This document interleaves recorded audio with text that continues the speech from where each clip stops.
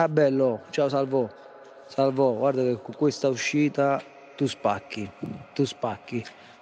Te lo dice uno stupido, guarda, non capisco un cazzo, voglio dirti che spacchi. Allora, si vede una maturità anche perché, come ti ho sempre detto e apprezzato, c'è sempre stato contenuto nei tuoi testi, no? Però c'è una maturità maggiore in questo ultimo album.